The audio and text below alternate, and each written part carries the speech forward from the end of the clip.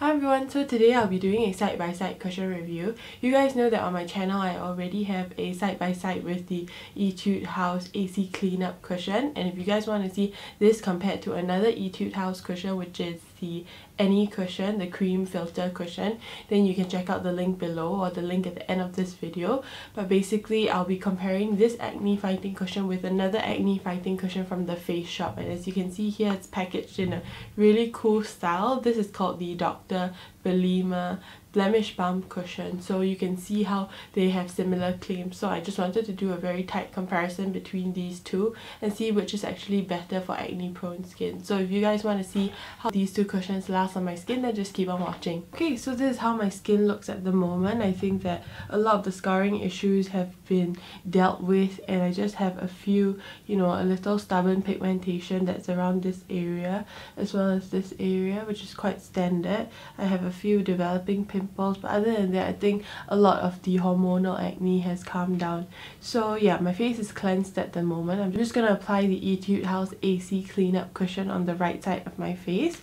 I've reviewed this before so I won't go into depth about what I like about it and that kind of a thing. If you want to know like really really concise feelings about this cushion then check out the review below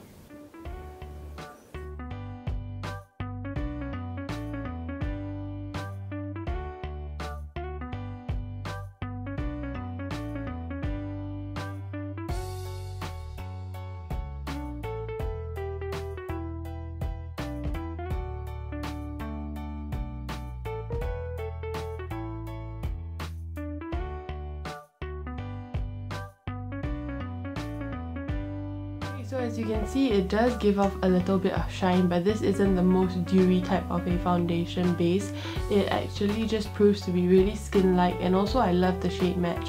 I'm in the shade Natural Beige and I think that Etude House for this AC cleanup cushion comes in three shades which is pretty good. I mean like it gives you an option to go darker or lighter but other than that, I've tried this for a prolonged period and I find that it doesn't aggravate any acne and I've even tried it during my hormonal breakouts and I think that it does well to calm the skin down but it doesn't do anything to reduce acne. Moving over to the Face Shop cushion.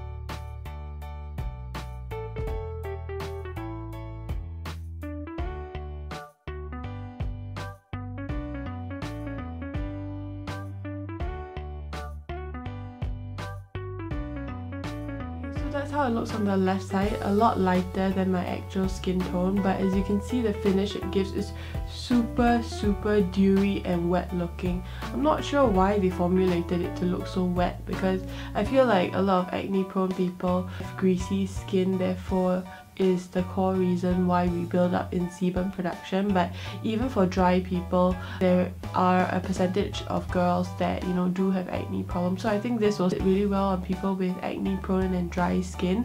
But it's super super at the moment. I feel like I'm drenched in grease. So it's a little weird but this doesn't carry a very strong medicinal scent. But I think that it looks really vibrant and radiant on the skin. I think that the coverage it gives is pretty decent. I can't really tell because at the moment my under eye circles seem pretty neutralized but it doesn't counter correct there. I do have a few acne spots here but you know it isn't as severe as my right side but the thing is that I find that it does neutralize the skin really well but this I feel like I can tell right off the bat that it will not last throughout the day so that's a little bit problematic. So yeah, at this point I have not much else to add. I'm just to do the rest of my face.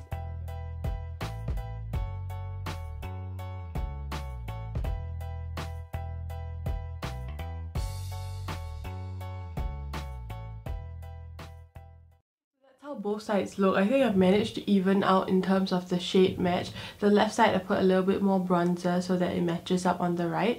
But basically what I can say is that the very noticeable difference is that the Dr. Belmeur cushion from Face Shop looks a lot more dewy.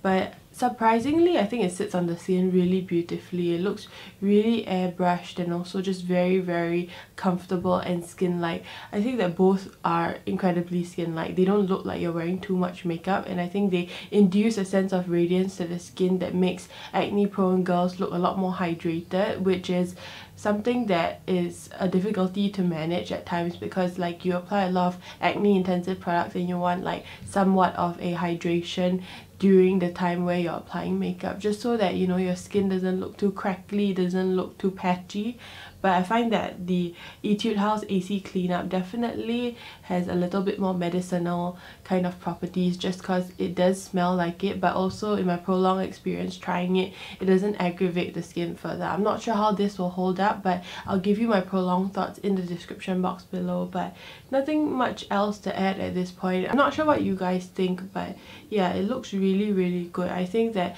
since applying my makeup I've been doing a few things in between. It's been three hours since I checked back in with you and I think that I'm looking a little bit dewy but I don't mind. I think it just counteracts the point that you know sometimes I do apply a lot and a lot of acne products. So this just makes my skin feel really good and very hydrated. I think that if you do, do not like the shine going on definitely apply some sort of setting powder after you apply your makeup just so that it takes down the shine at the necessary areas and it doesn't make you look too greasy. I'm sure by the end of the day I'll look super greasy so I like to use a tissue and blot off the excess oil. But other than that, not much else to add at this point. I think that if you guys want to know more about this cushion, feel free to ask me in the comment section below. So that's all I really have to say about these two cushions and if you guys enjoyed this video, do give it a thumbs up, don't forget to subscribe and I'll see you guys in the next one. Bye!